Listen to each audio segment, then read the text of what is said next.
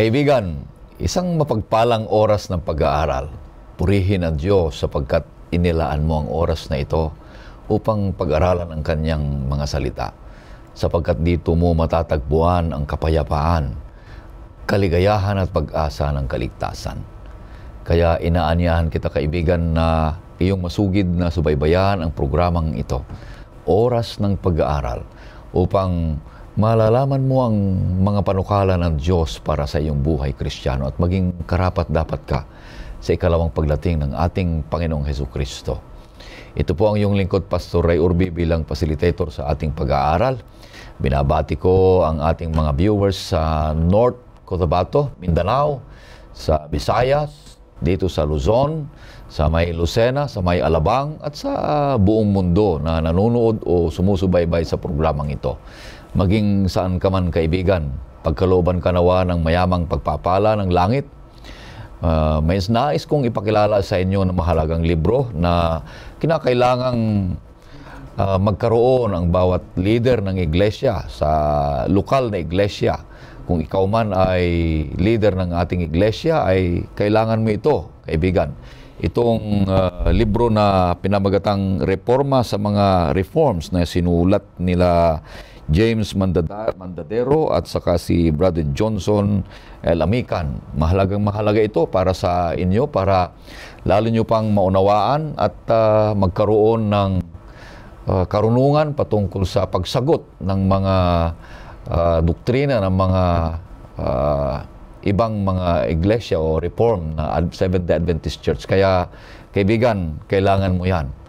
At uh, nais ko rin magkaroon ka nito bilang isang Sabbath School teacher na para ito'y magiging mas alive at vibrant ang iyong pag-aaral at uh, makipag-ugnayan ka lamang dito sa amin dito sa NSPUC o sa malapit na Seventh-day Adventist Church para magkaroon ka ng ganitong uh, mga libro, kaibigan. At bukod dito ay maroon na tayong downloadable outline na pwede mong gamitin sa iyong pagtuturo ng leksyon, sa iyong care group uh, class discussion. At muli, ang ating makakasama dito sa studio ay ating mga kaibigan na handang uh, maglingkod sa panahon ng pangangailangan uh, pa rin at panghuli nating mga makakasama sa quarter na ito, kaibigan, ay si Pastor Marvin Diaz, ang ating Ministerial Secretary at NDR uh, IEL, Field Secretary dito sa North Philippine Union Conference. Kumusta kayo, Pastor Marvin? Thank you, Pastor Ray, Pastor Yan. At uh, tayo ay nagpapasalamat sa Panginoon uh dahil sa ating uh, maganda naman isang talakayan mm. sa pag-aaral ng ating lesson. At binabati ko po ang mga field schoolers Yo. na nasa Surusugon ngayon. Mm. At uh, sa kanilang uh, paggawa doon, sa mga kanilang care group uh, at satellite uh, crusades at saka yung mga kapatid natin dyan sa Mindoro, nawa ang basbas ng Panginoon ay maranasan po ninyo. Maraming salamat. Ang pangalawa natin makakasama natin dito ay Uh, walang iba kundi si Pastor Ian Felicitas. Siya po ang ating bagong halal sa SSD, sa Southern Asia Pacific Division as uh, Mission Refocus Director. Kumusta kayo, Pastor Ian? Thank you po, Pastor Ray, Pastor Marvin, na uh, kasama niyo po ako ngayon. Binabati ko po kayong lahat, mga kaibigan. Salamat po sa inyong pagsuporta sa gawain po ng edukasyon ng ating iglesia, ang Adventist Christian Education. Ngayon mga kapatid, ako po'y humihiling sa inyo na samahan niyo muli ang inyong lingkod sa patuloy na paglilingkod sa larangan po ngayon ng missionary focus or instilling to our brethren, to our church entities, ang kahalagahan ng gawain ng pagmimisyon sa mga huling araw. Higit sa lahat mga kapatid, gusto ko pong batiin ang mga tagapag-aral po natin mula sa College of Theology. Uh, binabati ko po kayo. Kayo po ngayon ay nasa inyong field school din, Pastor Marvin, sa Alaminos. At binabati ko rin po ang ating mga kapatid dyan sa Texas, si Brother Custodio at si Brother Glenn Parr. Mm, amen. Purihin ng Panginoon Diyos. Maraming salamat, Pastor Ian, sa ating pagpapatuloy. Nais kitang aniyahan, kaibigan, sa maikling panalangin. O Panginoong Diyos, narito naman ang bawat isa sa amin na pag-aralan ang iyong ginintuang salita. Ang basbas nawa ng langit, karunungan, sa mamagitan ng Ministeryo ng Banal na Espiritu upang maunawaan ang bawat isa na kataga na aming pag-aaralan. At uh, patawarin kami, Panginoon Diyos, sa aming mga kasalanan. Ganon din po ang pagpapatawad namin sa mga nagkasala sa amin. Ito hiling namin sa pangalan ng aming Panginoong Jesus. Amen. Ang pamagat ng ating panglabing tatlo na, ito yung huling uh, linggo ng ngayong quarter na ito upang pag-aralan ang uh, The Cosmic uh, Angels o kaya pag-aaral ng salita ng Panginoon Diyos na ngayong uh, tatlong anghel na ito ay ang paksang naglalagablab sa kalwalhatian ng Diyos. At ang talatang sa uluhin ay matatagpuan sa Apokalipsis uh, 18, versikulo 1. Ito pong sinasabi, Pagkatapos ng mga bagay na ito ay nakita ko ang isa pang anghel na nananaog mula sa langit na may dakilang kapangyarihan at ang lupa ay naliwanagan ng kanyang kalwalhatian. Napakaganda, Pastor Marvin, Pastor uh, Ian, ang ating leksyon ngayon dahil naglalagablab, lumalagablab ang kalwalhatian ng ating Panginoong Diyos sapagkat pinapag-aralan natin ang kanyang mga salita. Ano kaya itong naglalagablab na kalwalhatian ng Diyos na tinutukoy sa ating leksyon ngayong uh, uh, buong sanlinggo? Na bawat isa sa atin pagkatapos na napag-aralan natin yung uh, mga two contrasting uh, forces na tinutuon dito ang malaking tunggalian ng uh, mabuti at masama na inaagaw ng uh, masama ang itinayong uh, pagsamba para sa ating Panginoong Diyos. Nalilin lang niya lahat, halos lahat ng mga tao upang sasamba ang mga tao sa halimaw at uh, nawawala yung tunay na pagsamba na ibinibigay sa ating Panginoong Diyos. Sa ngayon ay kailangang palagab, lumalagablab ang kaluwalhatian ng Panginoong Diyos sa isa sa atin, mga kaibigan at mga kapatid. At mayroong tatlong punto para pag-aralan natin ang ating leksyon na ang unang punto dito ay the necessity of final preparation, yung pangangailangan ng paghahanda sa huling mga araw para makapaghanda sa pagdating ng ating Panginoong Diyos. At ang pangalawa dito ay yung indispensability of uh, God's Word, yung kahalagahan ng salita ng Panginoong Diyos.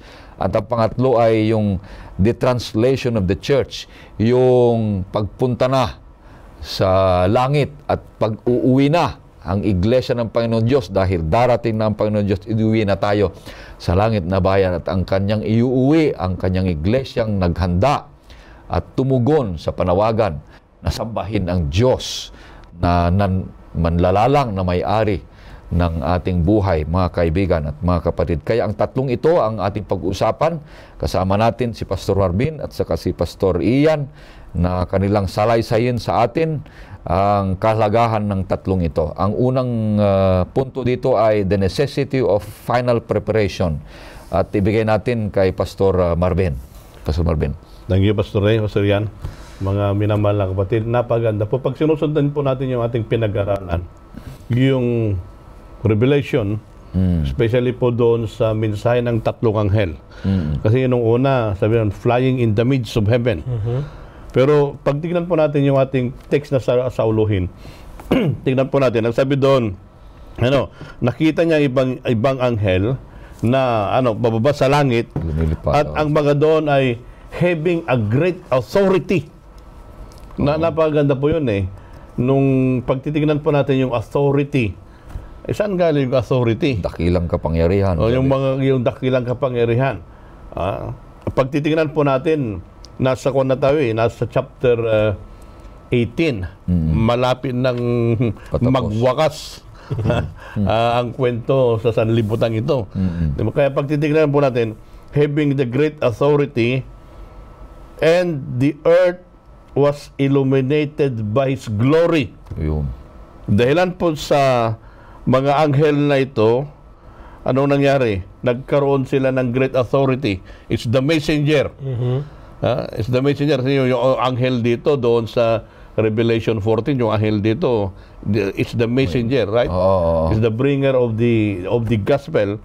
And the earth was illuminated. Who illuminated? Naliwanagan. Ah, dahil sa magandang pabalita ng tatlong anghel na yan. Mm. Kaya pag titignan po natin, mga Kaibigan. kaibigan at mga minamahal na kapatid, the final triumph of the church demands on the following of the Lamb kung saan siya mapapunta.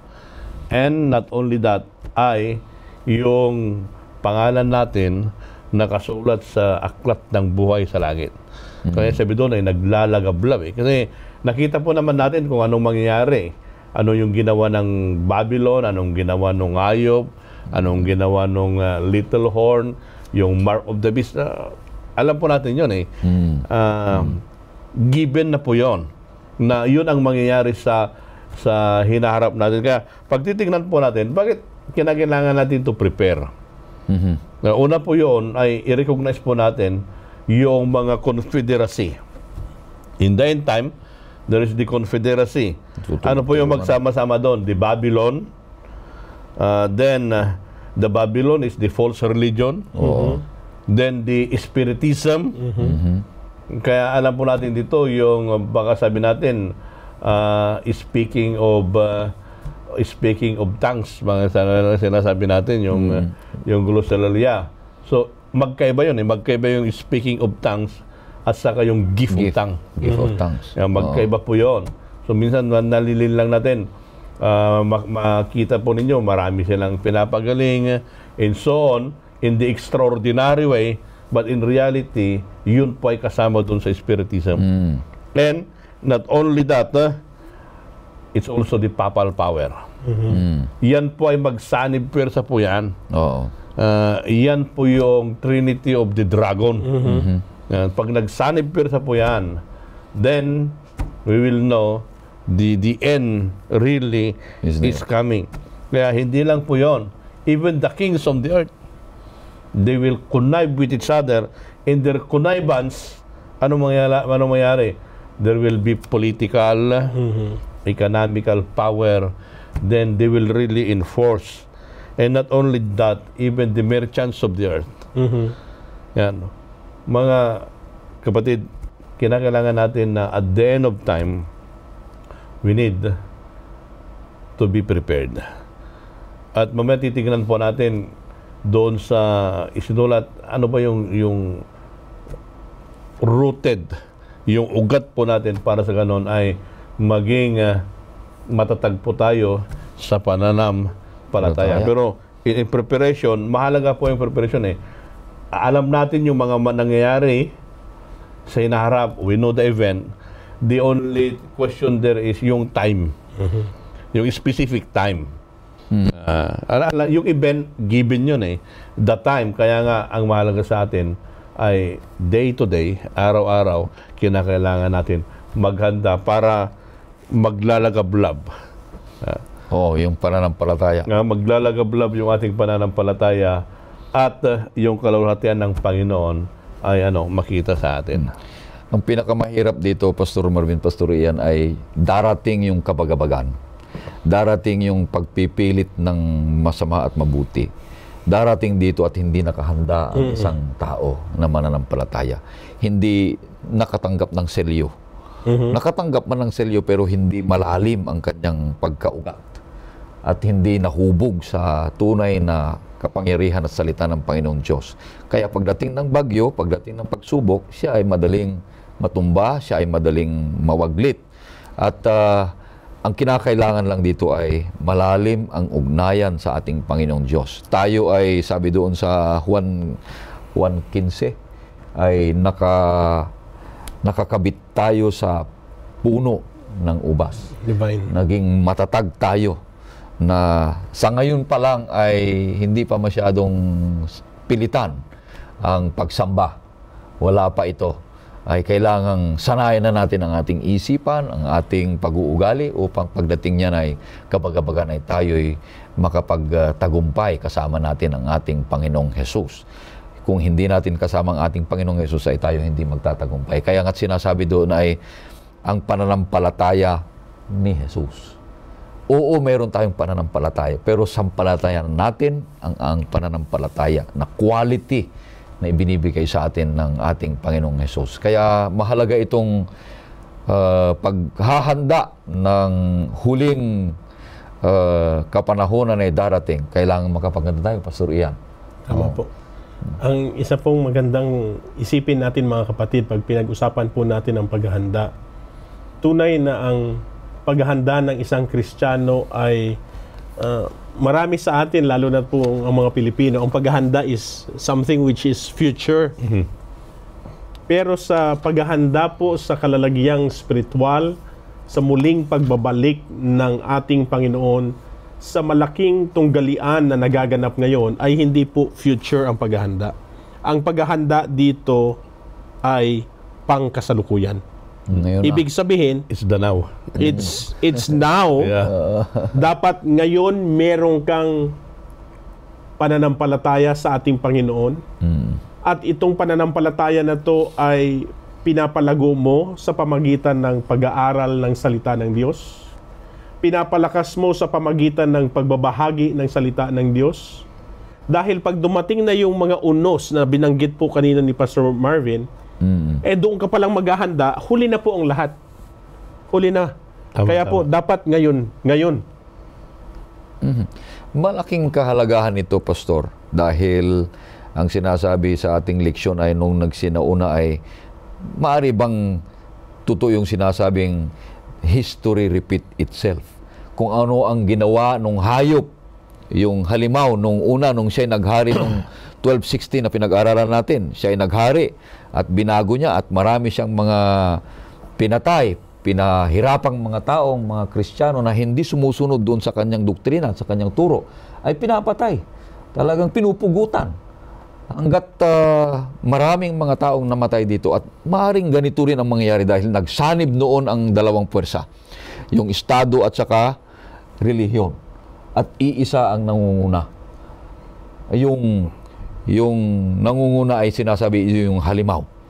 Kaya ipinapipilit niya lahat ng mga kanyang mga turo. At ah, ang mga taong sumusunod sa salita ng Panginoon Diyos ay talagang magkaroon ng ah, martir, kumbaga. Kaya kailangan magiging martir sila. Kaya kailangan nating paghanda nito, kaibigan. Ah, maaring ah, ito'y sinasabi na mayroong economic upheaval na sinasabi dito. Yeah. Kaya pag titignan mo, Pastor Ray, Pastor Ray, pag yung, yung, yung situation natin ngayon, uh, yung situation natin ngayon, mga ibang yung economy, Ekonomiya uh, natin. uh, down, and so on, the natural catastrophe. Minsan yung uh, global warming, sinasabi nila, diba, mga sinasakyan nila ito, uh, social turmoil, Mm, then uh, uh, yung bang international uh, politics crisis, then hindi lang yon pati yung mga global conflict. Mhm. Yeah. Yun na. I- i- ito ay uh, in our own eyes today, yan ay nangyayari.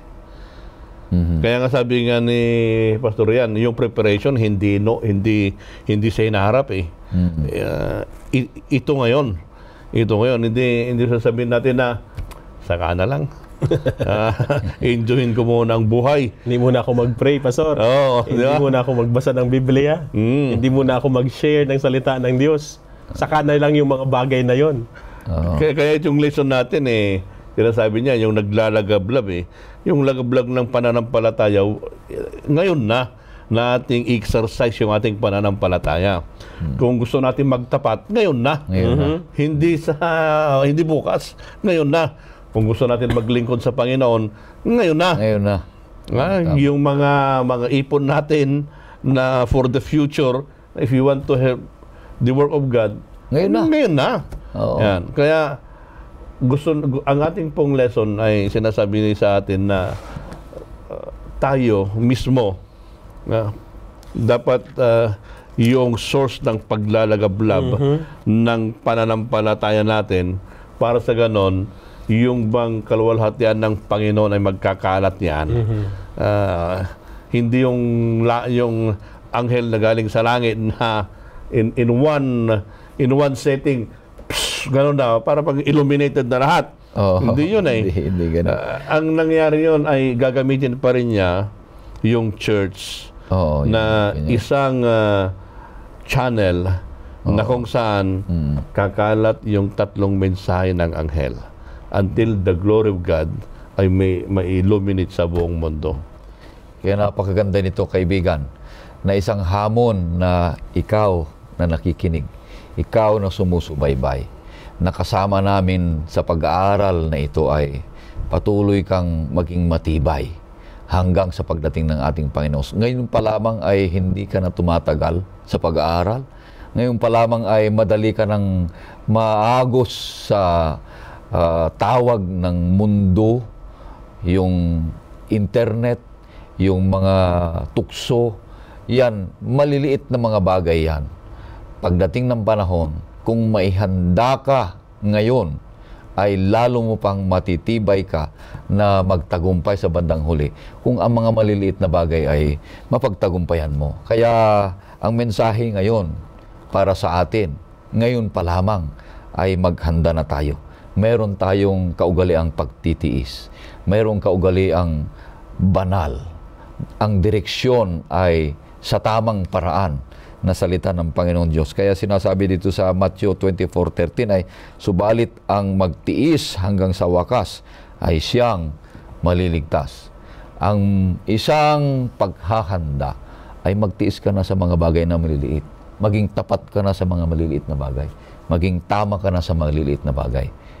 Para pagdating ng malalaking bagay na dagok ng pagsubok sa buhay mo ay makapagtagumpay ka sapagkat na sa loobin ka o kay yung kapangyarihan ng salita ng Panginoong Diyos ay nababago na sa iyong buhay. At ang Panginoong Heso Kristo, ang kanyang karakter ay nasa sa iyong buhay. Kaya mahalaga ito, Pastor. Ang pangalawa dito ay uh, dito sa may indispensability of uh, God's Word, yung kahalagahan ng salita ng Panginoon Diyos. Pastor Ian, paano itong uh, paghahanda na ang salita ng Panginoon Diyos ay uh, kaugnay dito sa paghahanda? Magandang uh, tanong po yan, Pastor Ray, uh, Pastor Marvin. Gusto ko pong ibahagi sa inyo mga ginigiliw na taga-subaybay na kung paano po pinakita natin na ang prophecy ay payak, tunay na magaganap. Pinag-aralan po natin ang bawat uh, ins and outs niya na it is a sure word. Yung ngayong nagsabing babalik, at siya ding nagsabi na may katapusan ang Babylon. Yan po ang minsan. Kung mabasahin niyo po yung chapter 18, may katapusan na ang lahat. Hindi pala forever na manloloko yung nanloloko. Okay? Oo, Yung nagtuturo ng maling aral, hindi yan for eternity. Oh, hindi. Ang sabi ng Panginoon, may katapusan din. may katapusan. At yung katapusan na ito ay itinuturo niya dahil ang katotohanan ang siyang mangingibabaw pa rin. Tama. Yan pong kahalagahan. Kaya nga't ang mga anak ng Diyos ay dapat maging founded sa salita ng Diyos. Ah, tingnan po natin ang ilang mga tala sa Biblia, mga kapatid. Unahin po natin ang nasa Juan ah, 7, 17. versikulo ah, 17. Ah, basahin po natin ito. Pastor Ray, paglingkod niyo po. Yan 7, 17. Opo. Kung ang sino man ay nagnanais gumawa ng kalooban ng Diyos, ay makikilala niya kung ang turo ay mula sa Diyos o kung ako'y nagsasalita mula sa aking sarili. Sa mga huling araw mga kapatid, ang kaaway ay magsasabi ng maraming bagay, maraming maling aral. Sisipi din yan sa Biblia. Kukuha sila ng mga talata.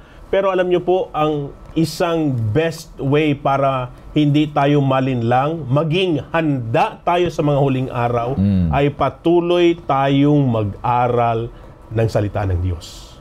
Ang salita ng Diyos ay katotohanan. Kaya nga with great authority. Bakit? Sino ba yung nagsabing may katapusan ang Babylonia? Ito yung uh, the false religion. Ang Panginoon. Ibig sabihin, yung kanyang salita is indispensable in the pronouncement of judgment. More than that, it is needed in our daily lives. Kaya nga, kung dadagdagan pa po natin ng isang tala, ah, Juan Kapitulo 8, versikulo 32. 32. Sinasabi dito, At inyong malalaman ang katotohanan at ang katotohanan ang magpapalaya sa inyo. Amen. Bakit nanawagan ang anghel ang mensahe ng Diyos na lumabas sa Babylon? Dahil ang katotohanan ay wala sa kanya. Kaya nga't ang sabi ng Panginoon, gusto mong maging handa, gusto mong mamuhay ng may katotohanan, gusto mong mapasama sa mga nalabi sa huling araw, ang sabi ng Panginoon, parinig ka, halika, sumama ka sa akin. At itong panawagan na ito ay panawagan na ang iyong buhay, ang iyong aral na susundin, ang iglesia mong aaniban o magiging part ay nagtuturo ng aral na ayon sa Biblia. Kaya nga, ang sabi po ng Juan, kap- uh, John pa rin mga kapatid is, sanctify them with your word because your word is truth. Truth. 17, 17. Yan. Mahalaga to mga kapatid. Mahalaga na maunawaan natin ito. Kasi sa mga huling araw, pag hindi po tayo naging had- handa sa mga panlilinlang ng kaaway, mawawala tayo. Kaya nga, ang panawagan na ito, kung babasahin niyo po yung Revelation 18, may katapusan, may paghuhusga, kaya nga po ang sabi dito mga kapatid sa Revelation 18 din is, uh, Babylon has fallen. Now, this is prophecy. Ang sabi po is, wala na. Bumagsak na. Bumagsak na. Eh, ito'y sinulat nung panahon ni John. Pero kung paano niya sinulat ito, ibig sabihin, ito ay tunay na mangyayari. Napakaganda, kaibigan. Kaya yung pangalawang punto dito na pinapag-aralan natin ay yung kahalagahan. Wala ka ng ibang hahanapin para para makapaghanda at maging matatag at maging matibay at magtagumpay. Pagdating ng panahon ng kabagabagan ay ang salita ng Panginoon Diyos na nagpapabanal. Sinabi dito, na tiyak na ikaw ay maihanda sa lahat ng mga bagay upang mm, hindi ka malindin lang. Malayo ang paglilin lang sa iyo. Pag kilala mo, alam mo ang salita ng Panginoon Diyos. Ibig sabihin yan, Pastor. ah, Pastor Yan, yung sinabi ni Pastor Yan kanina, gusto ko lang susugan yung kanyang sinabi, na because ito yung katotohanan, then dahil alam mo yung katotohanan, i-compare mo dun sa lies, yung false doctrine, Oo. hindi, hindi, hindi ka, kwan eh, hindi ka mawawala. eh. Oo, oo. You, you will not be convinced by the error Oo. because you know the truth. Oo, tama. Oo. Kasi the moment na hindi mo alam yung katotohanan, then ito yung counterfeit. Pag tinignan mo, parang genuine eh. Di ba? Kaya- Ah? Kaya yung Kasi mga... minsan may, may karanasan ako niyan. Ah, mayroon akong uh, uh, inilibing. Nandun kami sa sementeryo. De, tapos sabi nung isang kapatid sa akin, Pastor, pakipalit nga itong 500 ko. Di, binigay sa akin yung 500, tinignan yung pitaka ko, mayroong mga 100 bills. Di, pinalitan ko. Mm. Then, nag-service kami doon sa may patay, sa sementeryo. Di, pagkatapos noon, bumalik sa akin yung kapatid. Sabi niya, Pastor, ibigay mo sa akin ulit yung 500. Sabi ko, bakit? Pastor, sabi niya, yung binigay ko sa iyo, peke. No, ako, aka, ako, akala ko genuine. Oo, genuine. Gusto niya lang makita kung mapapansin niyo, Pastor. Gusto ko niya, gusto niya kung papapansin, sabi niya, sabi niya, Pastor Peke yan. Ito yung, ito yung original na 500. So, in the mirror, sa akin, ay, hindi, ko hindi naman ako expert dyan. Eh, talagang hindi mo mahalata. Ay, So, ba- oh, I learned my madali. lesson. Ganon din eh. The moment in the last days, ito yung counterfeit na bibigay ng Panginoon at ito naman yung genuine. The moment that we are not settled to the truth, then madali tayong ma- malinlang. Mm. Kaya yun po yung sinasabi dito na kahalagaan ng banal na kasulatan. Tama. Kasi yung huling point po po doon, yung uh, sabi ni Pastor Ian kanina, the sanctify them. Doon sa 1717, Mm-mm. ah, ng ng John kasi yung Apocalypse at saka John, isa yung author niyan eh. Oo. They complement each other. Kaya sabi po doon dyan sa 1717, sanctify them for the truth. Kaya ibig sabihin noon, yung katotohanan ay nagpapabanal pa rin sa atin. Tama. Kaya napakaganda nito eh. In the last days, yung katotohanan, yun sana yung magpapabanal sa atin dahilan sa ating Panginoon for us to be prepared Mm. for the coming of our Lord Jesus Christ. Kaya ang sigurado lang, para hindi po tayo malinlang ng Babylon, ay we must be settled in the truth that is in Jesus. Parang iti, parang itinuturo natin na yung mga clerk sa bangko, ang unang pinapag-aralan nila, Pastor, yung sinasabi mo, ay yung tunay na pera. Hindi nila pinapag-aralan yung Peke. peke. Yung tunay ang pinapag-aralan para madali nilang makita, madali nilang madiskubre na yung perang yon ay peke kung napag-aralan nila yung tunay. Ganito din yung sinasabi niya, Pastor, na dito tayo nakatuon sa salita ng Panginoon Diyos. Dito ang tunay na buhay na walang hanggan. Hindi naghihiwalay si Jesus at ang kanyang salita. Kung ano ang kanyang salita, diyan si Jesus nagsasabi sa atin para tayo ay magiging ah, banal ayon sa kanyang salita, mga kaibigan. Kaya mahalagang mahalaga ito. Oh, tapos Pastor Ray, Pastor. Kasi naalala ko yung sabi kanina ni the, the preparation ay now. Ngayon na. Yeah. Kinakailangan that uh, araw-araw we need to wrestle doon sa salita ng Panginoon. Kasi at times ang nangyayari sa atin, pag titignan natin yung daily routine natin, Oo. mas marami yung pag-Facebook natin kaysa yung yun, yun lang. pagbabasa ng Salita ng ng Diyos. salita ng Diyos. di ba? Ah, tignan nyo, mga kapatid. At ah, iyan ay hindi pa pinagbabawal yan. Ah. Kaya kinakailangan na daily we need to eat the Word of God. Oo. Ah, para sa ganun na spiritually may manaris tayo. Mm. Mm, yung, yung intake natin ng ah, ng ah, spiritual ah, things for us to to, to be prepared kasi pag ano ilalakas mo pag hindi ka kakain Oo. Ah, di ba yung yung salitang logos dahil ito ay galing din sa aklat na sinulat ni John sa sa John chapter 1 ay ito'y tumuturo uh, sa ating Panginoong Heso Kristo. You know, yung yung verbo, yung salita. Tingnan natin mga kapatid, may isa pa akong talata na gustong ibahagi sa inyo. Ito'y masusumpungan sa Revelation chapter 22 at ang tala po ay uh, verse 7. Pastor Ray, uh, Revelation chapter 22 verse 7. Ako'y malapit ng dumating. Mapalad ang tumutupad ng mga salita ng propesiya ng aklat na ito. Alam nyo mga kapatid, ano po ang isang bagay na sinabi po ng talang ito?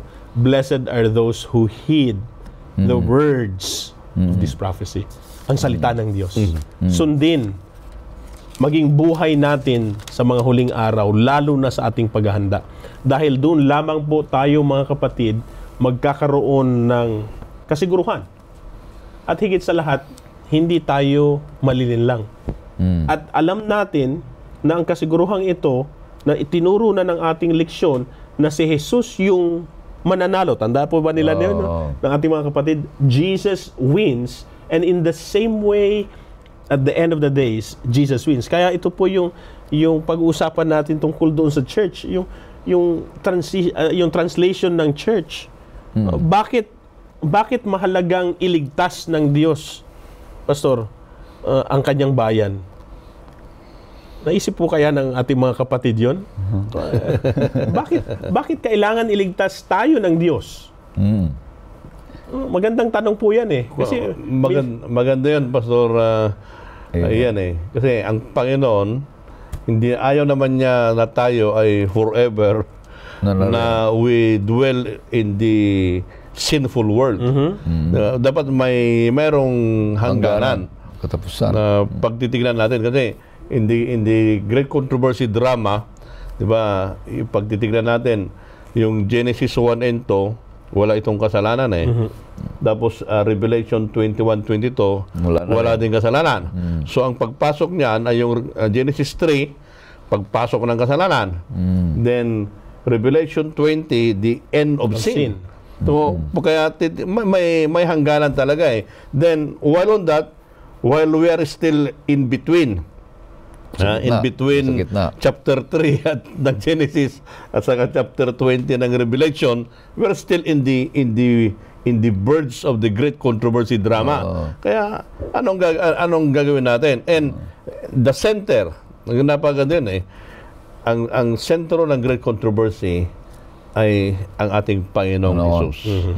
Kaya bakit pa tayo nandito na nandito? Then tinitingnan po natin na end uh, sin will come to an end. Yeah. Tapos while sin, uh, while sin alam natin it will come to an end eh ayaw naman ng kaaway na siya lang ang pupunta doon sa impyerno. Magsama siya. Gusto niya may kasama siya. Kaya gagamitin niya itong mga galamay niya para sa ganun ay linlangin. Ang mahirap nga eh, sabi pa niya, even the very elect, Elect. Oo. lilinlangin ng kaway.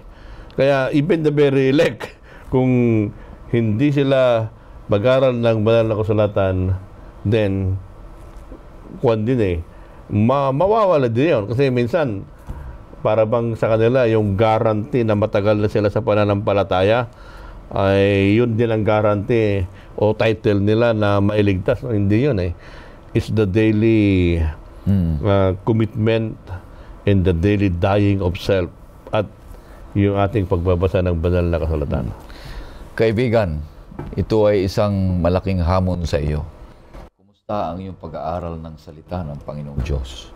Ikaw ba'y nagbabasa lamang para meron kang ibahagi?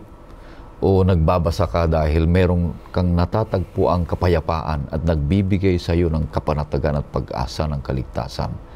Kaibigan, panahon mo na para ituon ang pananalig, pagbabasa ng salita ng Panginoon Diyos upang sa karon maging matatag ka at hindi ka malilinlang. Magiging mapagtagumpayan mo lahat ang mga pagsubok sa buhay. Narito ang salita ng Panginoon Diyos na sinasabing lumalagablab na nagbibigay ng kaluwalhatian para sa ating Panginoong Diyos. Kaya yung pangatlo, pupunta tayo sa pangatlo. Yung una ay necessity, in the final preparation, kailangan paghandaan natin, mga kapatid. Ang pangalawa ay yung kahalagahan ng salita ng Panginoong Diyos na siya yung gagamitin natin para tayo ay maging matatag at malayo tayo sa tukso at magtagumpay tayo sa lahat ng mga kahirapan sa buhay. At ah, ang pangatlo dito ay yung translation, yung pag-uuwi na. Ano, Pastor? Ito yung ibig sabihin. Uuwi na tayo ng Panginoong Diyos sa langit na bayan.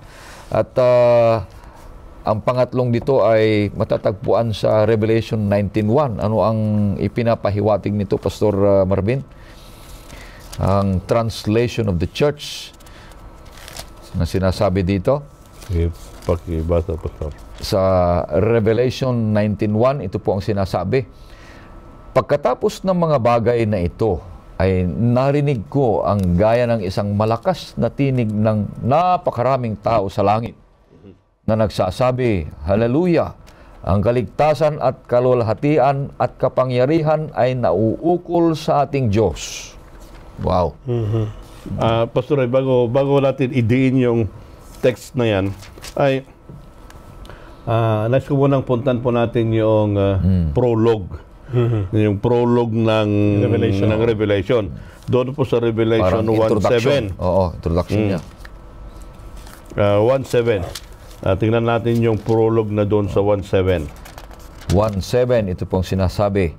Tingnan ninyo, siya ay dumarating na nasa mga ulap at makikita siya ng bawat mata at ng mga umu, umulos sa kanya. At ang lahat ng mga lipi sa lupa ay tatangis dahil sa kanya. Gayon nga. Amen. Ah, ito yung ah, ano bang ano bang prologue? Eh, parang Yung ba nag, yung- nag, nag, Ang prologue po eh. nagpapakilala. Ayan. Ah, parang it's ah, an introduction. Oh. Ah, So, pag titignan po natin, yung prologue ay yung darating ang Panginoon. Mhm. Yan, yan yung para yung yung umpisa ng libro eh. Tingnan ninyo. Ang Panginoon ay darating. Now, then uh, on the other hand, tingnan natin yung epilogue, yung bang Pagtatapos. pagtatapos Pagtatapos na. Yan, doon po sa Revelation 22:20. Oo, 22.20. Mm. Tapos uh, 21. Sinasabi, Revelation 22.20, ang nagpapatotoo sa mga bagay na ito ay nagsasabi, Oo, ako'y malapit ng dumating. Amen. Pumarito ka, Panginoong Jesus. Ah, napakaganda eh. Nung pag-umpisa ng, ng libro ng Apokalipsis, ang sabi niya, Panginoon, hmm. parito ka. Oo. Then, at the end, chapter 22 ng uh, Revelation, sabi niya, Panginoon, parito ka. Oo. Oo. So, ibig pong sabihin yan, doon po sa una, ay nagsasabi na ng Panginoon ay darating. Di ba, pag titingnan po natin, si, si Juan, yan ang pinakamalapit sa Panginoon. Kaya nga tinawag siyang beloved. Beloved. Oo. Oo. Ah, may meron ang Panginoon, meron siyang yung ah, yung yung kanyang mga alagad, Alagad. tapos meron pang inner circle, Oh, then meron pang another uh, innermost pag may uh. nandun po si nandun Wow, po si John. Mm. Kaya nga pag titingnan po natin, ah, yung bang kagiliwan niya na darating ang Panginoon. Dapat yun po sanang nag, mag, naglalagablab Oo. sa atin buhay bilang isang mananampalataya. Yung bang pagdarting ng ating Panginoon ay yun pa po ba ay reality sa ating buhay bilang isang iglesia. Siya. Kaya nga sabi na po doon sa sa 19.1 kanina pagkatapos ng mga bagay na ito. Mhm. Para bang kuwan na eh, para bang ah, summary na, di ba? Here's the conclusion of all matter. Oo. Pagkatapos nito, di ba ang sabi nun? oo. Pagkatapos nito, narinig ko ang g- Gaya ng isang gaya ng isang malakas na tinig ng napakaraming tamo sa langit na nagsasabi, Hallelujah. Hallelujah, ang kaligtasan, ang kalulhatian, at kapangyarihan na ay naukol sa ating Diyos. Wow. ang ganda eh. Yung pong uh, prologue uh, at Epilogue. epilogue, ang Panginoon ay darating. Pero ipinakita ng Panginoon kay Juan. Hmm. Bago pa siya, bago pa darating yung sa second coming na inaredeem. Ipinakita na kay Juan kung anong nangyari sa langit. Mhm. Na andon yung bayan Ng ng Diyos. Diyos. Kaya tatlong bagay lang po yun pag titignan po natin. Translated Ah? na sila. Una po ay yung iglesia, na tayong iglesia, Hmm. we should be changed by the grace of God. Mhm. Yan. Yun po sana. Mabago po tayo.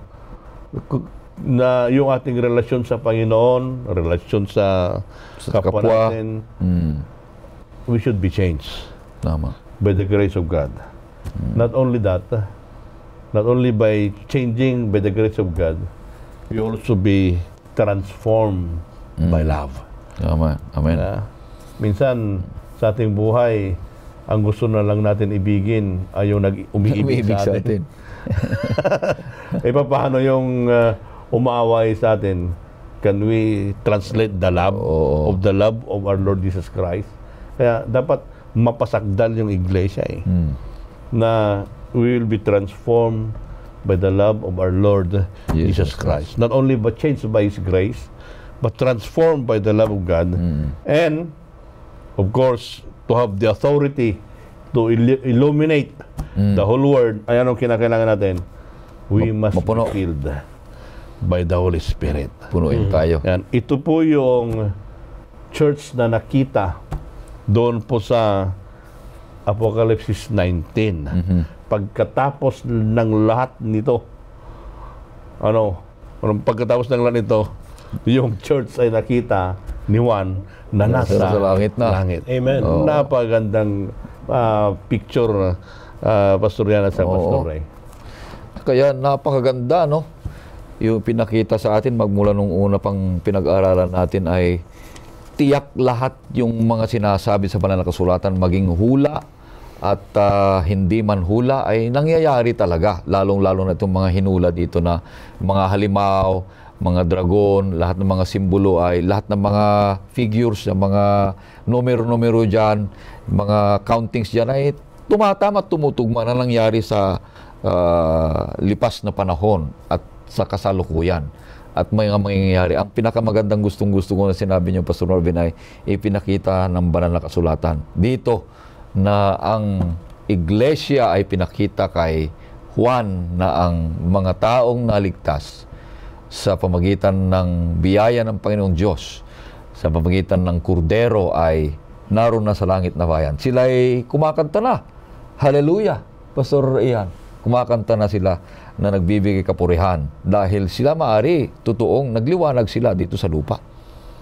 Nagbigay sila ng papuri at pagsamba na tunay na sumunod sila sa kautusan at ah, pananampalataya sa ating Panginoong Yesus. Kaya ang masayang masaya dito ay sana ay kasama tayo lahat, Pastor. Ano? Amen. At lahat ng mga nanonood sa atin ay maging kasama rin natin, ah, mga kaibigan at mga kapatid. Pastor Ian, Ah, mga kapatid, kung nasa inyo po ang inyong leksyon, tunghayan nyo po doon sa araw ng Miyerkules. Mm. Ito po ay may date ng June 21 at doon po sa ah, ikalimang uh, uh, ika-anim uh, ika-anim na paragraph. Ito po ay isang CP mula sa Testimonies to the Church, Volume 6, page 19. At napakaganda po ng sinabi dito.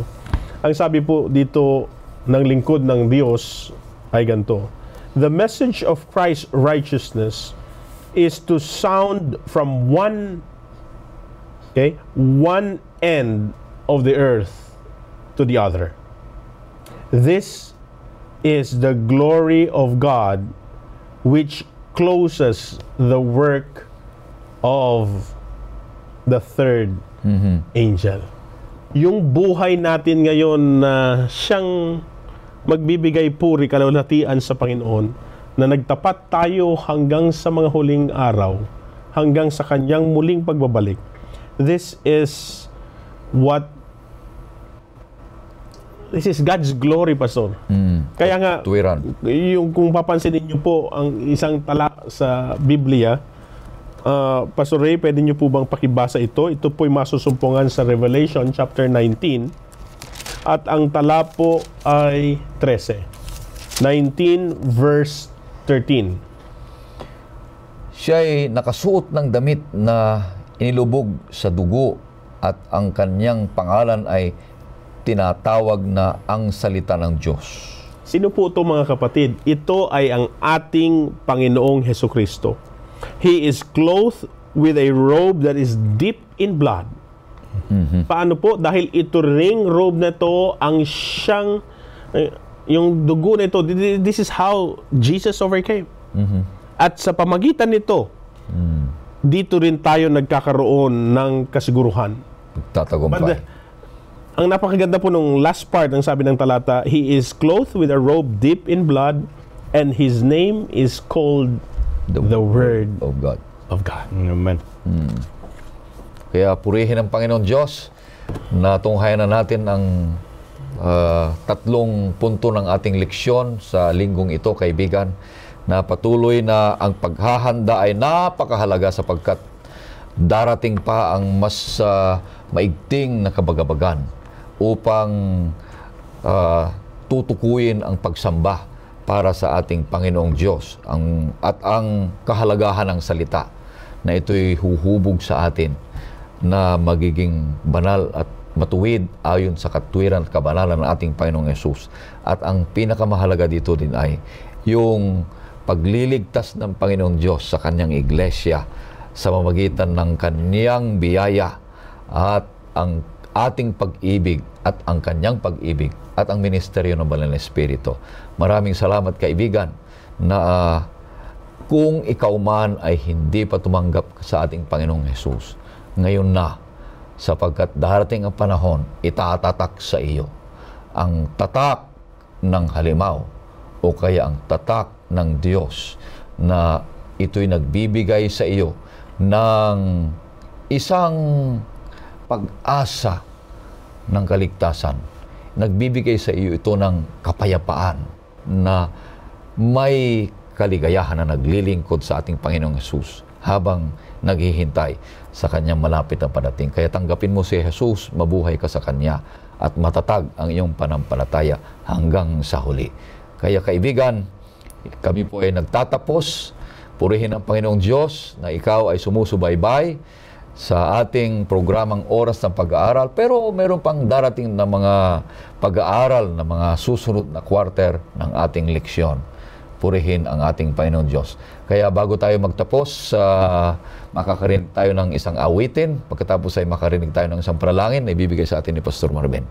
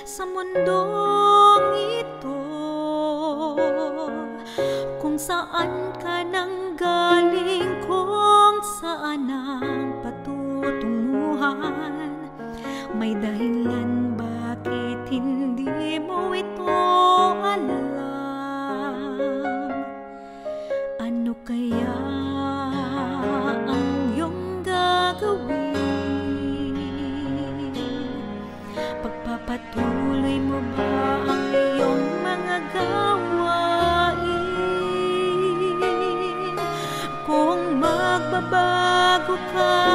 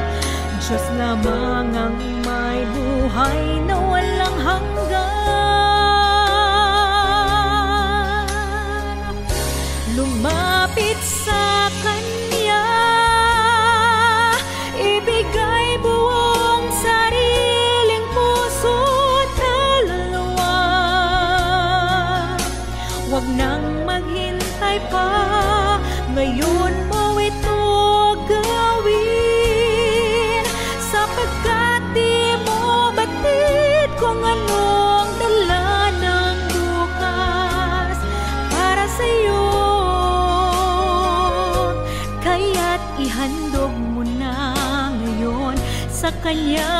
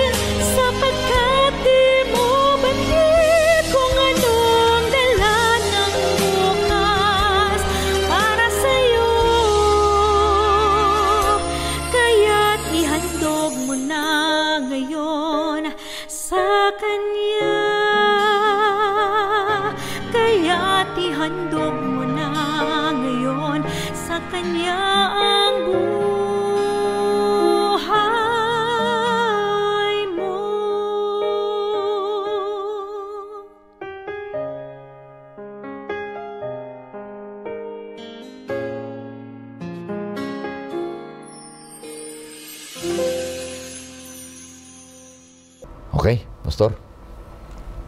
Dakilang Diyos, batid po namin ng aklat ng Apokalipsis, Mm. nagpapatunay ang kasiguraduhan ng iyong muling pagdating. Mhm. Panginoon, dahilan po sa inyong biyaya, baguhin niyo po kami. Mm. Dahilan po sa inyong pag-ibig, ma- mawangis sa amin ang karakter ng aming Panginoong Yesus. Opo. At dahilan sa banal na Espiritu, kami po ay magkaroon ng authority para sa ganon Mm. ang iyong glory ay maglalagablab at may handa kami sa iyong muling pagdating. Mm. Marami pong salamat sa pagdinig sa aming panalangin sa pangalan ni Jesus. Amen. Amen.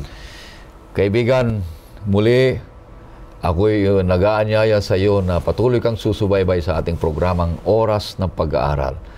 Ang Panginoong Diyos ay nagmamahal sa iyo, kagaya ng aming pagmamahal sa iyo, kaibigan. Maraming salamat.